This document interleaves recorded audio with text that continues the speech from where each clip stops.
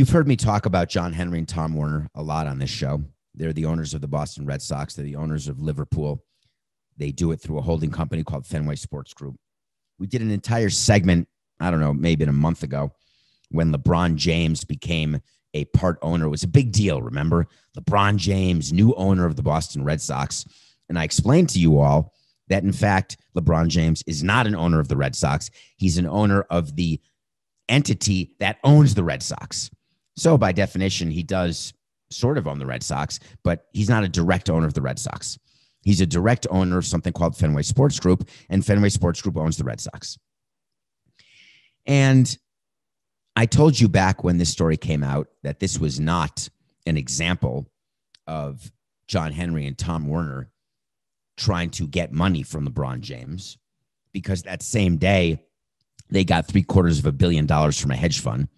This was all about optics. And the Red Sox didn't announce that.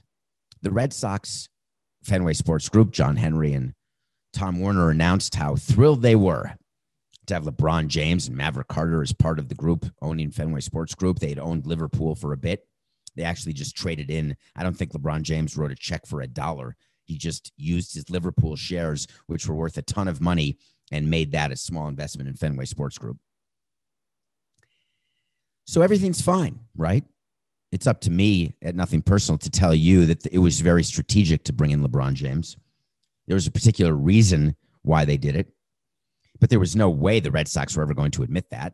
In the press conference announcing it, they weren't going to admit that the fact that LeBron James is African American, the fact that he's so far out in front of these social issues, and how important it is that the Red Sox do not appear as white as they are. It was critical for the Red Sox and for Werner and for Fenway Sports Group to, to have diversity. That's 2021. And I said to you, even if that's the reason, I'm okay with it because progress has to start somewhere. I talked to you about Redbird Capital, the company that put $750 million into Fenway Sports Group. And I showed you on their website how white they were at the top, but how they're now trying to get more people of color in at the associate level of their hedge fund. And I wasn't critical of Redbird Capital either, because you've got to start somewhere. Fine. But today, Tom Werner was honest with you. Tom Werner gave an interview. Do you remember the Samson sit down we did with, uh, was it Joe Vardon, Coca? Is that who it was? Who, who writes for The Athletic and he was in the NBA bubble? I don't know if you remember that. Anyway, we did an episode with him. He came out with an article just today, and it was all quotes from Tom Werner. And I want to give you the quotes and then I want to ask you to try to understand what in the heck is going on here. Tom Werner said, We want to feel that the Red Sox are an inclusive place where everybody feels welcome. And while that may seem like an obvious notion today, the Red Sox have a very complicated history when it comes to race relations. Let me stop you there, Tom. The history of the Red Sox is not very complicated at all. The history of the Red Sox is that it is a completely racist organization. The previous owner was a guy named Yawkey, who didn't even allow integration with the Red Sox, didn't even have a black player until so long after there was integration in baseball. He was a complete racist, complete. So much so that Yawkey Way in front of Fenway Park was renamed by John Henry and Tom Werner. So much so that Yawkey's pretty much been erased in terms of the history of the Red Sox. How about the fan base in Boston? it's famous for racial epithets that are thrown at players, absolute prejudice against black people. I don't understand why you would ever say that it's complicated. It's actually quite simple. He then said, We work hard to create a more diverse and, and inclusive organization from top to bottom. And he said, and here comes one of the first of three money quotes. It's on it. It's too good. I'm excited that LeBron James and Maverick Carter are owners of the Red Sox because this helps provide better representation of baseball to our fans. I'm trying to picture racist fans in Boston saying, you know what? I'm not racist anymore. I'm absolutely tolerant of every person of color because LeBron James, my beloved LeBron James, is an owner of the Red Sox. And then I'm picturing a black fan in Boston, not stepping into his or her shoes because I can't, but picturing a black fan, imagining subject to systemic racism in Boston, saying, Oh my God, everything's good now. LeBron James is an owner of the Red Sox. And I can really appreciate that. I understand what it is to be a billionaire like LeBron James and to be an owner of the Red Sox. And now when I walk down the street, no one in Boston stares at me. No one thinks that I'm going to mug them. Everyone's fine now. I don't think you can fix systemic racism by having LeBron James as an owner of Fenway Sports Group. I think that you want to believe that's what you're doing, but you certainly should not be saying it. But then he kept going. He said, I will be surprised if LeBron and Maverick don't weigh in on management decisions of the Red Sox and Liverpool. I would welcome their thoughts. Can you picture LeBron James calling up Tom Werner, calling up Chaim Bloom? Hey, Chaim, I got to tell you, I'm not too pleased with Kike Hernandez and the fact that you gave him 14 million over two.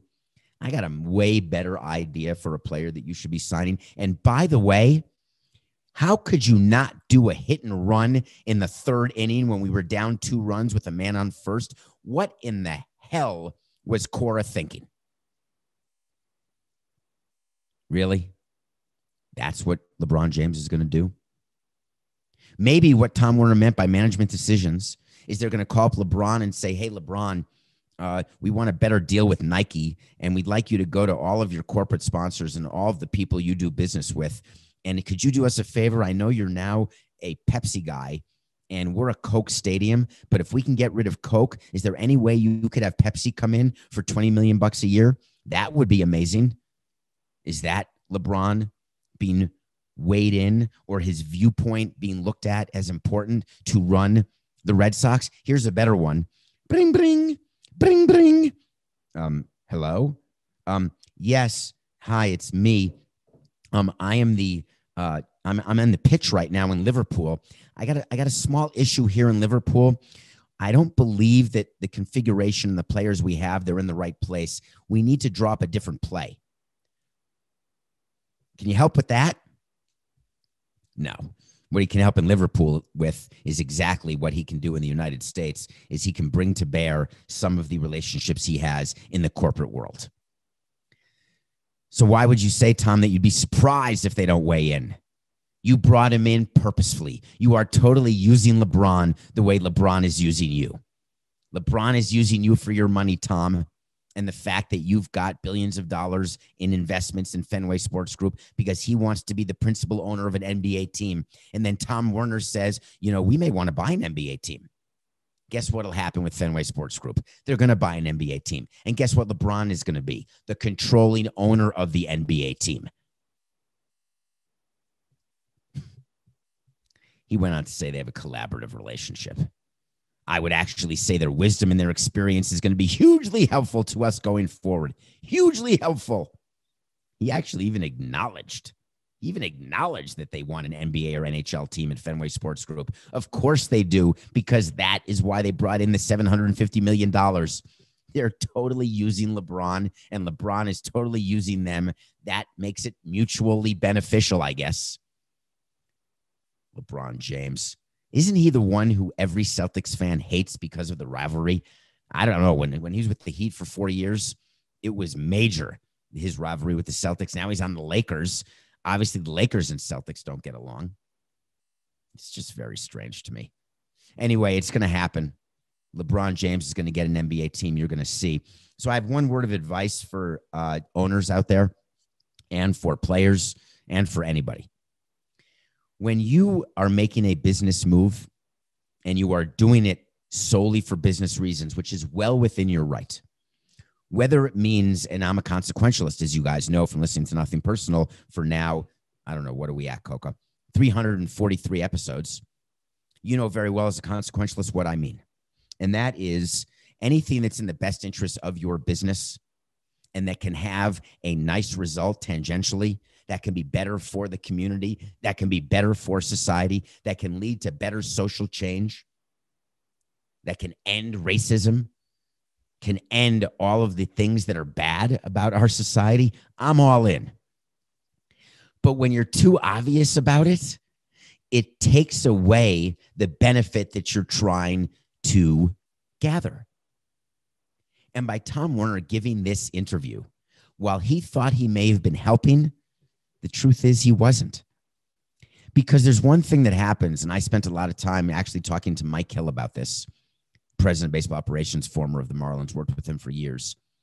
We were talking about the rules in baseball and the rules in football, especially the Selig rule, the Rooney rule, where they want to give draft choices, take draft choices away, add draft choices to make sure minority candidates are part of ownership or part of coaching ranks, etc. And Mike Hill's comment to me, and it was the comment of many people with whom I spoke, said, We want people to get jobs, and we want black people to get jobs. We want black people to be owners. We want black people to rise to the top of organizations because they've earned that right. We want them to have the opportunity to earn the right. We don't want handouts. We want opportunity. It's about opportunity. So when you bring in LeBron James, you're not giving LeBron James opportunity to be an NBA owner. He's got the opportunity without you. You're bringing him in for the sole purpose of business. Period. It's nothing personal.